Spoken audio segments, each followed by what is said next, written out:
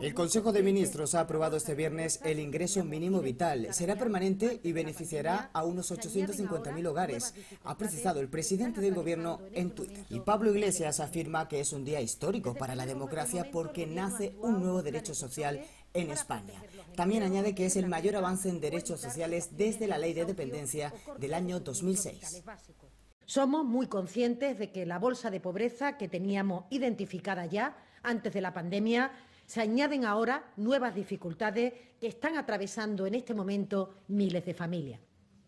Desde el primer eh, momento, el Gobierno ha actuado con planes de choque para proteger los empleos, proteger la renta o evitar situaciones de desahucio o cortes de suministros vitales básicos. Pero ahora es el momento de dar un paso más, con una nueva prestación que tiene que actuar como una auténtica red de seguridad para todas estas familias con ese objetivo que nadie se quede atrás.